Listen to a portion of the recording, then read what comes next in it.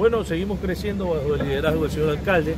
Estamos en territorio escuchando eh, las directrices que nos ha dado el señor alcalde, que escuchemos a la ciudadanía y sobre todo busquemos las soluciones rápidas, que, ellos lo que eso es lo que necesita la gente. ¿Cómo está? Seguimos creciendo, eh, crecemos en obra, crecemos, damos seguimiento todavía sobre todo a los miércoles ciudadanos, donde también hay un compromiso entre alcaldía y ciudadanía.